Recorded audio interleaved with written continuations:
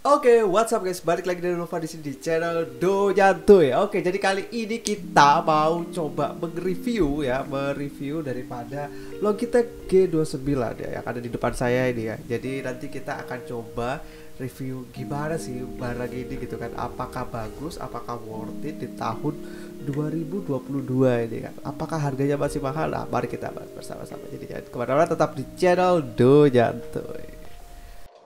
Oke guys, jadi sekarang kita sudah ada di depan alat ya, ya uh, Logitech ya, daripada Logitech G29 ya. Ini saya menggunakan HP satu ya, uh, dan di sini ada kalian bisa lihat.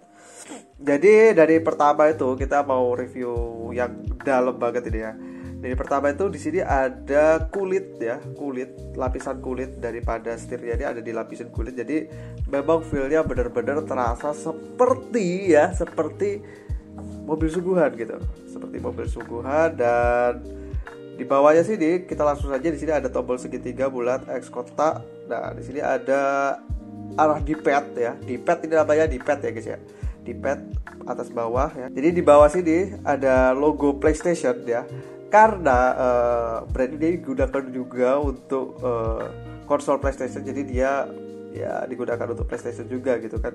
Nah tetapi asal kalian tahu ya, jadi kan banyak yang mungkin berpikir bahwa eh itu bisa ditekan gak bang? Jadi ini tidak bisa ditekan, ini hanya cuma logo gitu saja. Jadi kan takutnya kayak mobil gitu ya, package kalian kan seperti mobil bisa ditekan. Ini tidak, ini tidak bisa ditekan, cuma logo aja. Dan di sini tuh ada L2 dengan L3, di sini ada R2 dengan R3 ya. Jadi kalau di PlayStation ada tombol itu.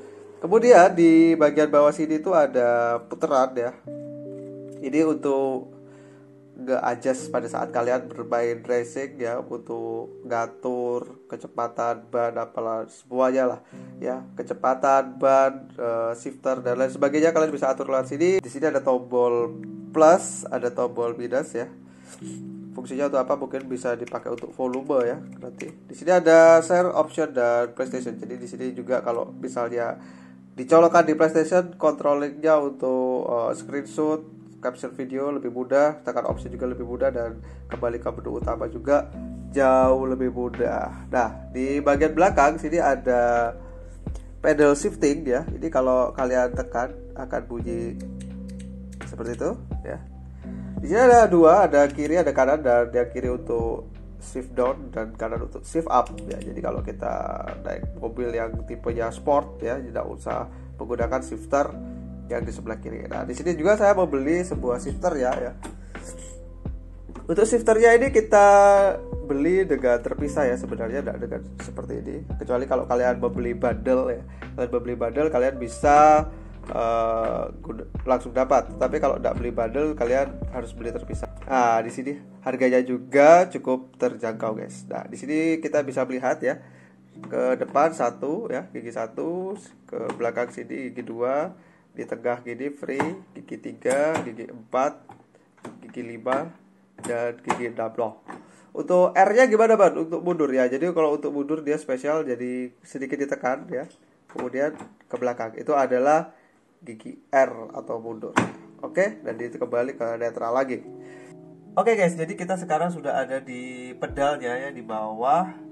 Nah jadi di bawah sini tuh cukup ringan ya untuk pedal gas ya. Ini ringan banget linear banget. Dan di sini tuh untuk pedal rem dia tuh cukup berat ya.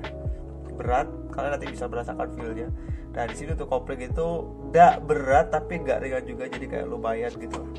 Nah itu untuk membedakan pedalnya. Jadi ada feel feel tersendiri uh, dalam penggunaan pedal Oke jadi tidak perlu lama-lama lagi jadi kita akan langsung menggunakan Logitech G29 nya ini di game-game simulator ya kalian pasti penasaran ya Oke kita langsung ke gamenya Oke guys, jadi sekarang kita sudah ada di dalam gameplay ya uh, eh, ETS Simulator 2 ya. Jadi ini game-game yang lagi ngetren ya, lagi ngetren di Facebook Facebook ya. Saya juga main ya. Kalau kalian pergi ke Facebook, uh, pergi aja ke channel Donyanto ya. Jadi saya juga main ini di Facebook. Nah, sekarang kita akan langsung coba menggunakan wheelnya ini apakah berfungsi dengan baik ya. Jadi ini saya coba putar ke kanan ya wheelnya. Kalian bisa lihat di layar ini gamenya ya. Itu bannya putar juga.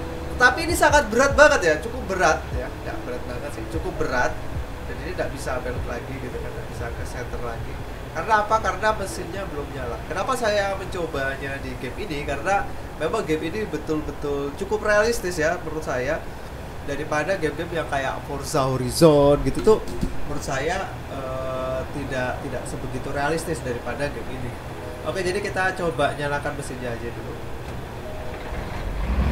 Kalau menjalankan mesin game kita cukup menggunakan pedal gasnya ya. kalian kalian bisa lihat di kamera untuk kaki ya kamera kaki itu kalian bisa melihat jadi ini kalau kita gas lihat seperti ini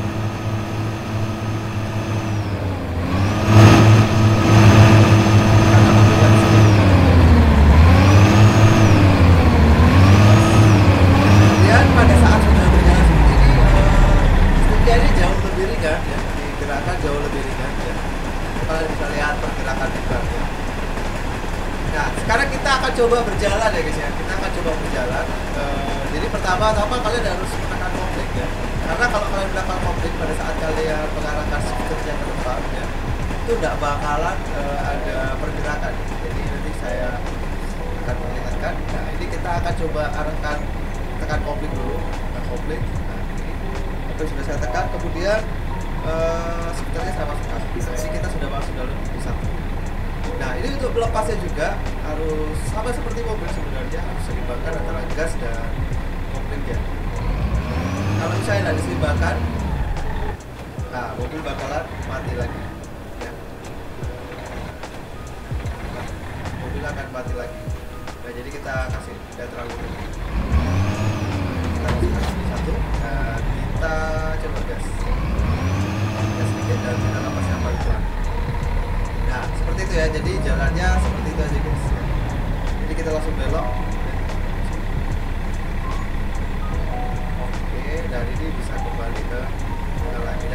tekan jadi kurang lebih seperti itu ya. Untuk kita mau coba keluar ya keluar ke sana. Coba. Mundur ya. Kita coba. Jadi kita tekan sedikit filternya dan jadi sebenarnya dia apa operasiannya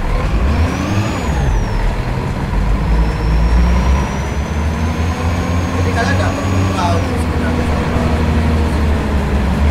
itu karena sama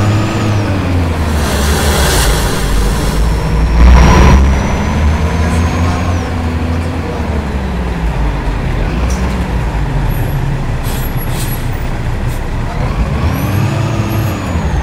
kita biasanya berbagi Mas Bapak ini berbagi. Oke, ini sebenarnya dia. Seperti ini. Ya untuk pemula nanti bakalan menyesuaikan lagi, menyesuaikan lagi dalam penggunaannya. Dan ini bisa digunakan di berbagai macam game. Bukan hanya NS2 aja, tapi kalian bisa main di game Forza, game uh, simulator-simulator lainnya seperti GT Sport ya. Kalau di PS sempat ada game GT Sport. Oke guys, jadi bagaimana menurut kalian? Apakah worth it ya dengan harga kisaran 4 jutaan ya? Kalian sudah dapat sistemnya juga, kalian sudah dapat eh, daripada steering wheelnya juga. Tapi kalau kalian cuma beli steering wheelnya hanya 3 juta sekian sekian lah ya. Jadi kalian bisa lihat di online shop.